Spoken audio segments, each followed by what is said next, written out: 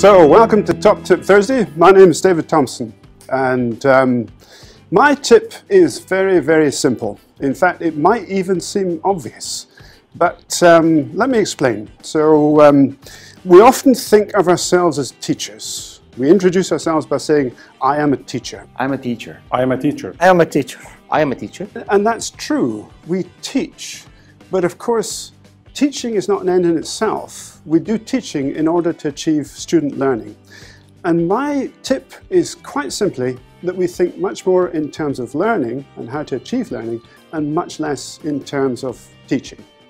So we run our bachelor programs for the purpose of cultivating a generation of graduates who have competence in their discipline, who have research skills, who are information literate, who can reason quantitatively, who can think critically, and who can communicate. So we can teach students about these things.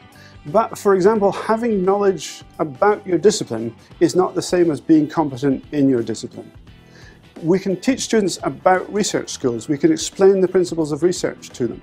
But being knowledgeable about research is not the same as having those investigative skills. So as well as the teaching, as well as the explanations, we need to create these um, well thought through active learning experiences where we mentor students through their own investigative research projects. Similarly with information literacy, we can explain the principles of information literacy, we can demonstrate information literacy techniques, but we need to have these active learning experiences where students are searching for their own information, trying to find the information that they need to work on certain problems and achieving their own information literacy. With quantitative reasoning, we can explain the principles of quantitative reasoning, we can demonstrate quantitative reasoning, we can work through problems in a quantitative way.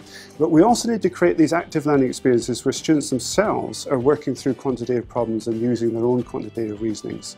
We can teach students about critical thinking, but the key thing is to create inspirational pedagogies which get them thinking critically themselves.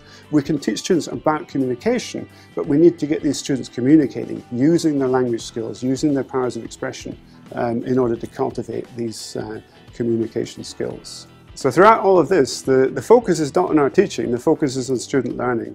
We can think about what we do in the classroom as teachers, but the key thing is to think about what students do in the classroom as learners and about how we can create experiences which are actually effective in helping the students to learn. As teachers, we're not here to teach. Universities don't exist as places where teachers teach, they exist as places where students learn. Yes, I'm a teacher, but above all, I'm responsible for ensuring that students learn. I'm a teacher and my job is to help students learn. I am a teacher. I need to see that students learn. I am a teacher. I am here to ensure student learning. I am a teacher. My job is to enhance student learning. So that's my top tip. Thank you for watching Top Tip Thursday. Top Tip Thursday will be back again next week, same time, same place. Thank you very much.